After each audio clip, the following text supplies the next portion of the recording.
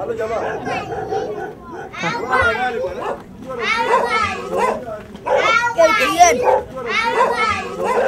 are you? How are you? Good day. Have a good day.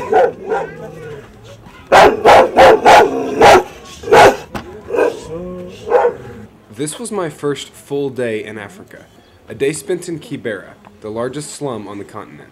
So if you can see back there, this is like different villages. Yeah. So these are the villages in Kibera. At the moment is there are 42 tribes in, in Kenya.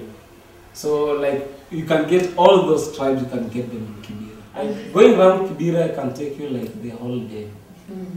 or a day and a half because it's so big. Kibera is located on the outskirts of Nairobi, Kenya's capital, and an estimated 800,000 people live there. Our team from Oklahoma visited as guests of Carolina for Kibera, or CFK, a group based out of the University of North Carolina. In April, the group was awarded the Oklahoma City Bombing Memorial Reflections of Hope Award for their work during the post election violence in Kenya in January. Our tour of Kibera was led by Kantar, who we met in Norman when CFK directors came to Oklahoma to accept the award. Kantar led us through one of the most poverty ridden places on the planet, while at the same time showing us how much amazing work is being done there to help. Carolina for Kibera is an NGO that runs youth programs. We have mainly four youth programs running currently and a medical center that we work in partnership with CDC. CFK has a very large and impactful sports program, as well as a waste management program called Trash is Cash.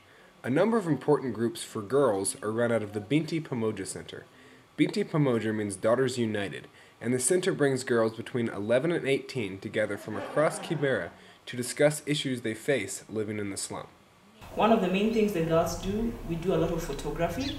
We give girls cameras, they take pictures on issues they identify in the community and write stories of the pictures they've taken. And mm-hmm. so we just put films mm-hmm. and batteries and they're given for one week, they go take pictures, then they mm-hmm. bring them back, we remove the film and take them out for printing. The pictures and the stories have been printed in a book called Lightbox, which has been sold in the US to raise funds for CFK. Another very important focus of CFK's work in Kibera is in medicine. The organization currently operates its Tabitha Clinic from two sites in the slum. is we have up to about like 200 patients. Mm-hmm. We see about 200 patients averagely a day, roughly about 60 to 80 here, 120 down the other clinic. The smaller clinic was pretty cramped and busy when we visited, but it was the same story at the other side of Kibera at the larger clinic as well.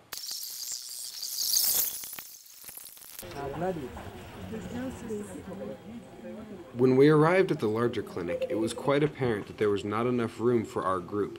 The place was packed with people seeking treatment. Perhaps you can do it outside. This is the main clinic, feeds the other one. Have similar staffing, but then we only provide laboratory services at this clinic because we don't have enough space at B. We have two medical officers, and then we have four clinical officers, and then we have seven nurses, two pharmacists, a laboratory technician, a registration officer, and myself. Uh, in a day, we have a, a minimum of about 200 to 240 patients at both clinics. The lack of space for such a large medical operation was painful to see, but luckily CFK was already on top of it. Carolina for Kibera is also constructing a very big facility. We will move these services to that clinic. Construction of the new CFK Tabitha Clinic.